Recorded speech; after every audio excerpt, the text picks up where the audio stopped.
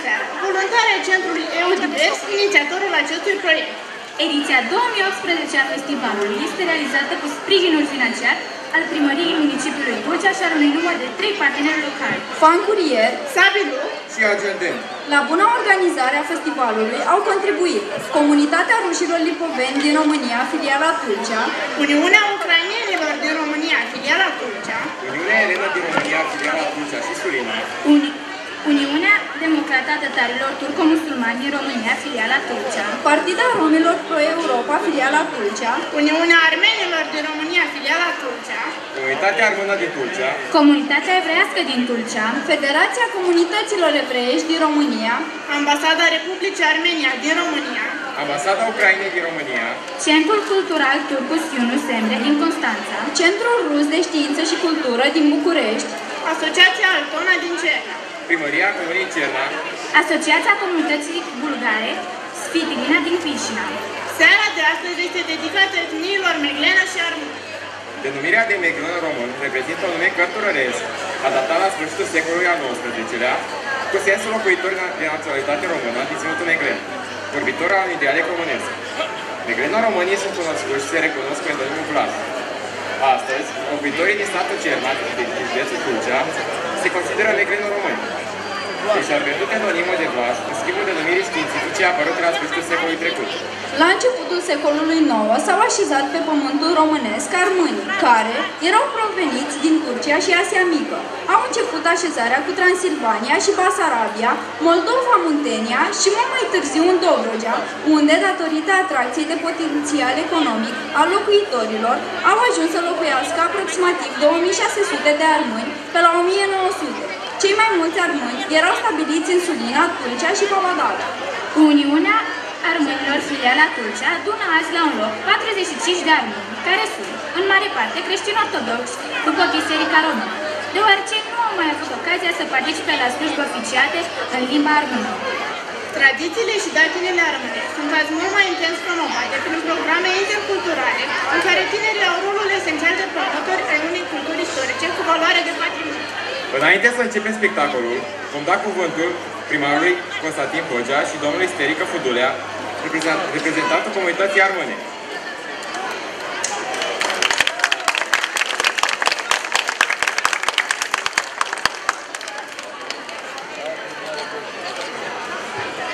Bună seara și bine ați venit la seara comunității a române și megleno române. Macedo românii, pentru că acesta este filonul până la urmă, cuprind mai multe dialecte și cele prezente la noi în uh, Dobrogea, comunitatea română, care numeric este cea mai bine reprezentată, și comunitatea megleno-română, care în general este dacă veți, grupată în comuna Cerna și în mai multe zone din țară. Despre comunitatea română și megleno-română nu cred că trebuie să discutăm foarte mult, pentru că îi știm, îi cunoaștem, sunt ai noștri, este o comunitate extrem de ambițioasă, o comunitate harnică, serioasă, orgolioasă și care, până la urmă, are un rol extrem de bine definit în ceea ce înseamnă bunul mers al comunității tulcene în general.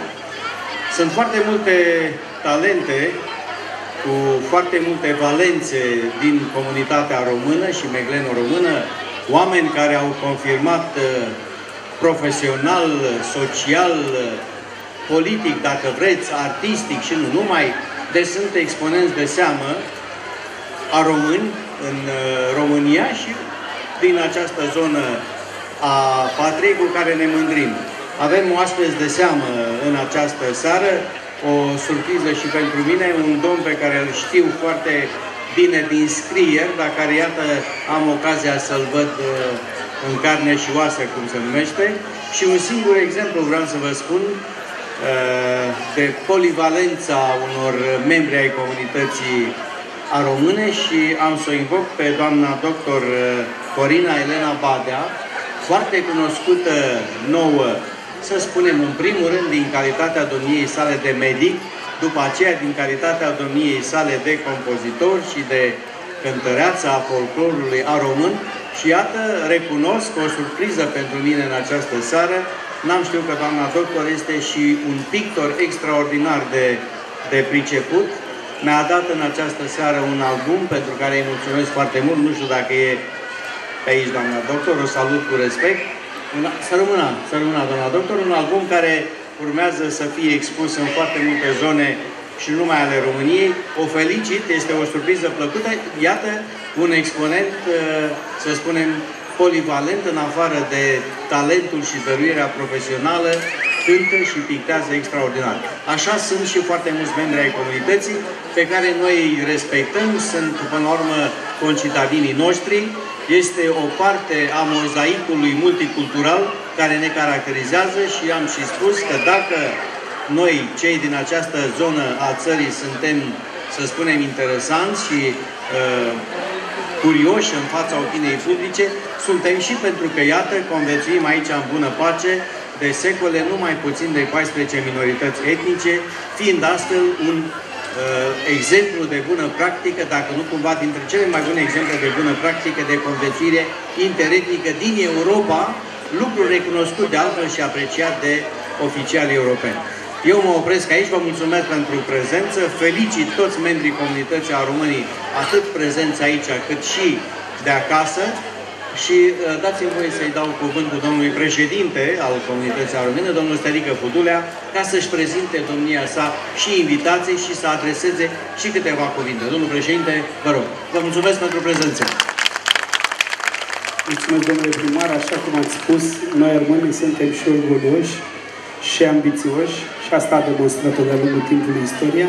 Dar prima dată vreau să vă spun bine venit Anamisa din noi, tora seara, Minduiescu ca vă hârsiți cu zborul și cu cântecul românescu, pentru că așa e normal, la început câteva cuvinte în românește. Bine ați venit alături de noi și sunt convins că o să vă bucurați alături de noi cu cântecul și uh, cuvântul armânesc. Pentru că suntem în anul centenar și așa cum a spus domnul primar, avem o seamă de armâni care au făcut uh, cinste statului.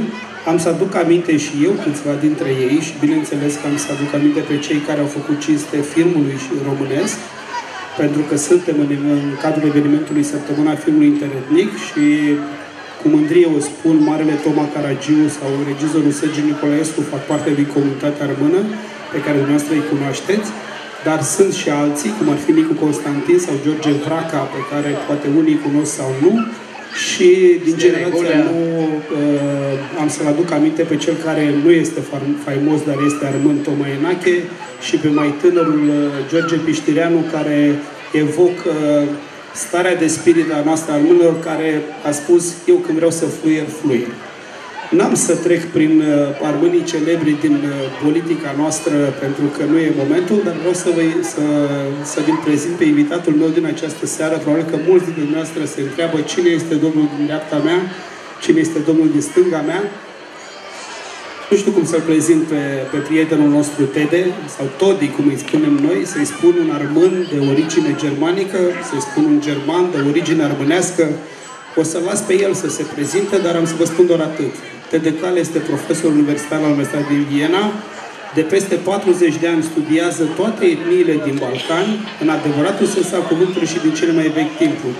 Există și un cuvânt pe care, o frază pe care Tede o folosește de fiecare dată, nu există piatră care să nu mă cunoască pe mine în Grecia și am să vă spun că el lăfește, azburaște și, bineînțeles, achichisește și fârșirutește.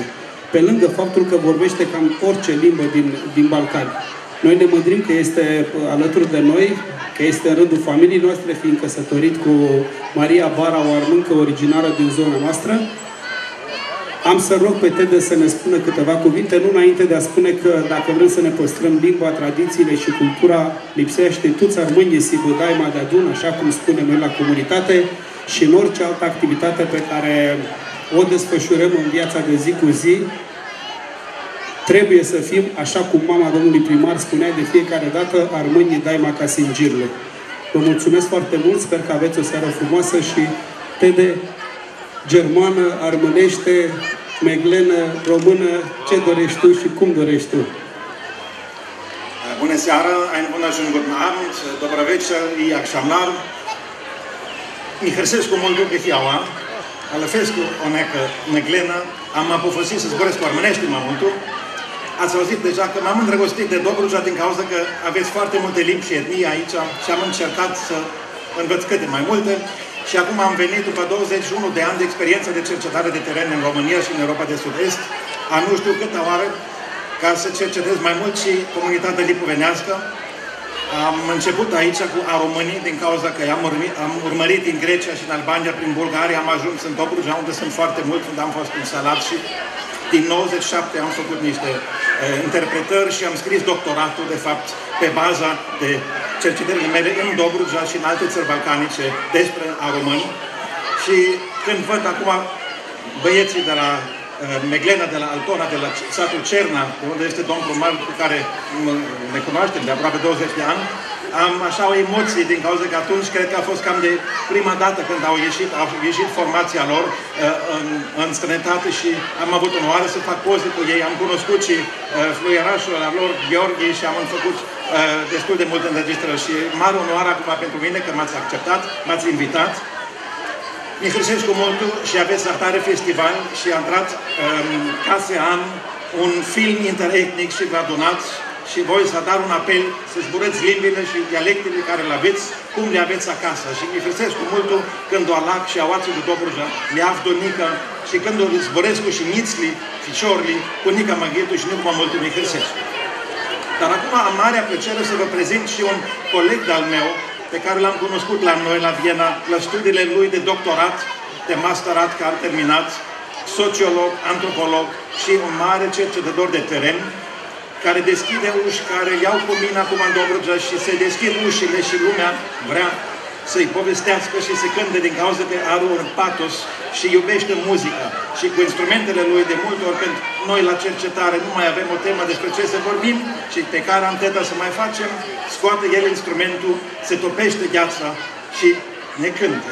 Și de aia ne-am rugat, l-am rugat să ne cânte și el o melodie și să nu fie astăzi ca cercetător, că noi am cercetat astăzi puțin dialectul din Cogelac, eh, dar să vină cu o singură melodie cu care vreau și eu să vă mulțumesc că m-ați invitat. Seara bună, distracție plăcută.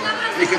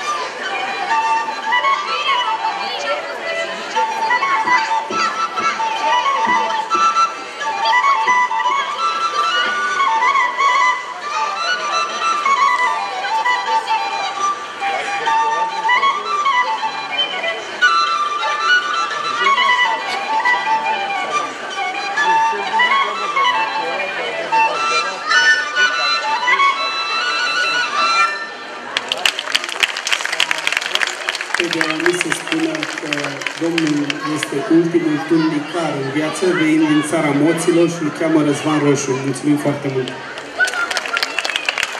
Vreau să vă fac încă o precizare. Să știți că prezența domnului Pede Cal la Tulcea este o mare onoare pentru noi, pentru că domnul profesor universitar, chiar dacă îl vedeți așa tânăr și arată foarte bine, să știți că este o somitate europeană în ceea ce înseamnă studiile minorităților etnice din Balcani. Așadar, să-l aplaudăm încă o dată pe domnul profesor Tedecal și să-i mulțumim mult pentru prezență. Și dumneavoastră, pentru faptul că, iată, înțelegeți să susțineți comunitatea, sunt convins că vă vor oferi un spectacol pe măsura așteptărilor și dragostei dumneavoastră pentru folclorul a român. Să înceapă spectacolul.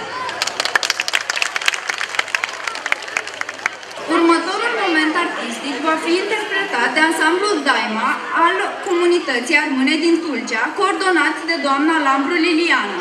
Alături de grupul Stele Armânești din Tulcea, coordonat de doamna Corina Badea. Să-i primim cu aplauze.